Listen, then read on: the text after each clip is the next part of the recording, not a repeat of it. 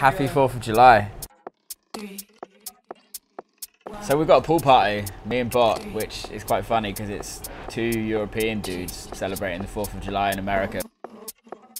We're at the Mondrian uh, Sky Bar. So yeah, it's going to be good fun. Sun's shining in LA, um, and it's going to be a party. The sold, it's sold out. I've worked with these guys bef once before, I believe. We did a party in LA before. Um, they're, they're cool guys. They're cool guys. They, they know how to put on a party. So all my sets are different. Um, they're always, but majority of them are my own music. So I have a lot of edits that I play. So I like to play a lot of unsigned music that I don't have. Play a lot of edits that people don't have. I try and play like music that's not fully released or not going to be released for a while. When it's released, I'd probably stop playing it. If I was playing a pool party somewhere else, I'd probably like have a little bit more pool party music vibe. Um, but today I think it's to be a little bit crazy. So I think they're just want to party. So I'm just to play like kind of a bit of a more banging set. I think every city is an important, important in the dance music scene. Anybody that's throwing parties, underground parties, I think they're all important. Um, LA scene is progressing. We're still not at New York standards. I don't think you can compare them. They're completely different lifestyles. Um, New York is a completely different lifestyle to LA.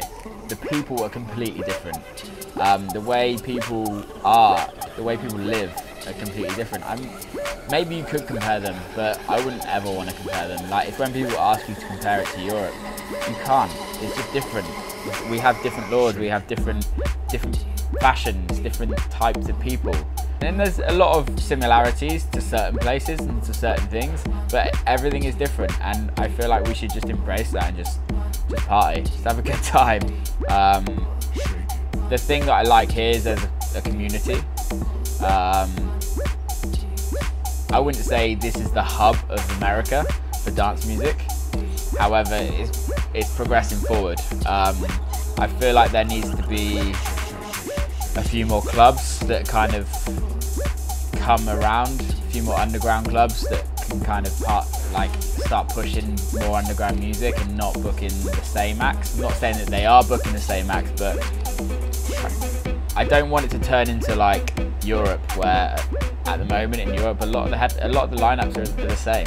I just hope people go down the like let's try this artist. We've never tried this artist. Let's try this artist. Let's try that artist. Um, rather than, oh, this person's to sell out. We're to be launching a tour in a few weeks' time, uh, which is a full tour of America.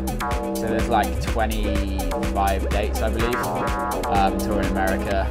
Uh, I have a release coming out with Claude Strike collaboration on Dirty Bird, um, coming out in August.